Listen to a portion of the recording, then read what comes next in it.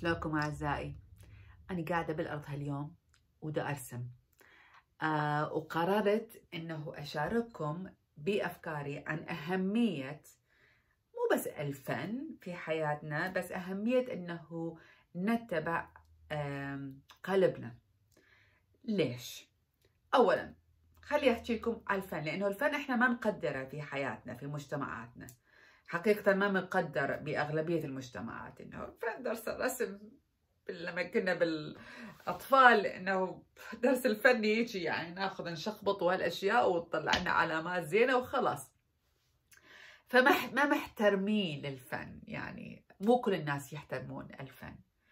بس بالنسبة إلي الفن يخلينا نشتغل يخلي جزء مختلف من عقلنا آه، يشتغل. وبدون أن يكون حكم على أنه هذا صح لو خطأ. يعني لو أشوفكم أنا هاليوم مش راسمة؟ شخابيط. شخابيط. أيد أشوفكم إياها. شوفوا. شخابيط. أوكي؟ هيك.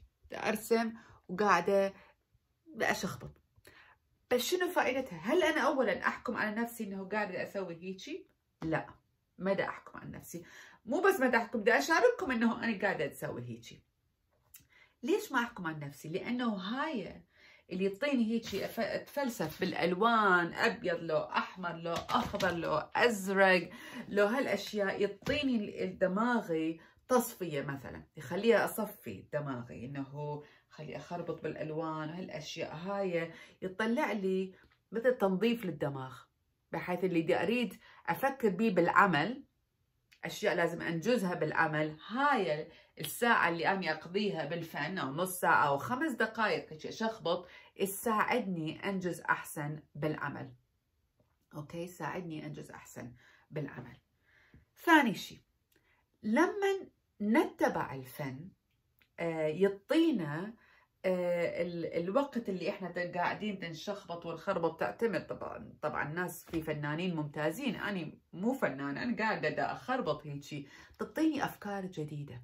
هو مثل التأمل الفن مثل الواحد لما يمشي على الطبيعة الفن يعطي أفكار جديدة آه، آه، ويشوف الحياة بنظرة جديدة. الألوان التكستشر كل شيء بس أهم شيء اللي أريد أقوله اليوم مو على أنه واحد يعطي نفسه الحرية أنه يعبر عن نفسه بالفن ويعطي الوقت للفن. أنه مهمة تتبعوا تتبعون قلبكم. آه، المديرة التنفيذية السابقة لشركة شانيل اللي كل النساء يحبوها لأن أحسن الشنط بيها وأحسن الملابس بيها شانيل درست آه، ما درست تجارة وأعمال. درست آه، فن. درست الروايات آه، درست الليترشر بالإنجليزي يسموها. الفلسفة والروايات والتاريخ. درست التاريخ درست الفلسفة. شو هاي شنو علاقة؟ إنه شلون سواها هاي؟ هي المديرة التنفيذية من أنجح الشركات بالعالم اللي هي Chanel واللي كل الناس يريدون هيك موقع. آه هي لما تقول شو تقول؟ تقول اتبعوا قلبكم. وتبعوا اللي يريده نفسكم. بدل ما تتبعون استراتيجية إنه لازم أدرس أنا تجارة وأعمال على مود الاقي هيجي شغل على مود الاقي هيجي شغل. لما تبعت قلبها تبعت اللي هي إحساسها السادس. آه شلون تلزم هاي شلون تأخذ هاي ياهو ياهو ياهو أحسن قماش ياهو أحسن بس هي تتبع إحساسها السادس كأن كدراسة فلسفة حقيقة وفن وتاريخ. آه شلون يسوون الميزانية والفلوس والقائمة وهالأشياء هاي. وياهو أحسن استراتيجية لل social media وهالاشياء هاي. درست شيء تحبه. ولما ظلت تتبع الأشياء اللي تحبها صارت تعطيها فرصات عمل. مو بس فرصة فرص عمل عفوا. وبهالفرص العمل هي كانت التفكير المختلف بالمكتب.